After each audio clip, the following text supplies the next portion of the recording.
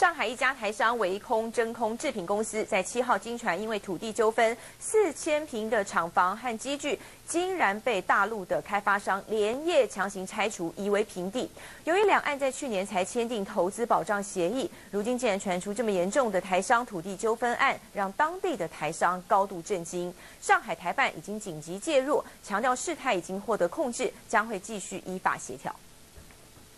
维宏真空制品在上海的四千多平厂房，如今变成一片废墟。七号清晨，七八十名凶神恶煞闯进厂房，殴打在场的维宏人员。当时只有四名台籍干部，寡不敌众，只能眼睁睁看着他们逞凶。我们我们员工要拍照，全部都控都都用暴力恐吓，全部全部都把那些脖子说叫他们不能拍，拍就要打他们啊！叫那个推土机什么，全部把我们的办公厂房还有那个生产厂房全部都推掉啊！要全部重重建的话，要要差不多。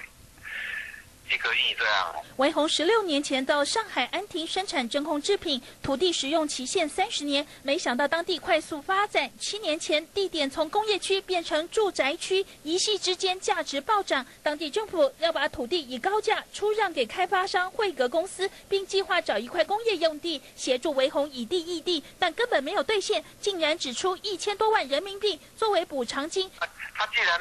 既然用这种手段，他他就是摊牌，他是恶霸嘛，他是地头蛇嘛。维宏台干气愤的表示，一直以为强拆是偏远地区才有的事，没想到会发生在上海。那他们先霸占，嘿，那霸占等于说等于说我们是小台商嘛，小台商你就是要去求他们的嘛。我们也很也很惊讶啊，这不是上海嘞，我们也很惊讶啊。你这打一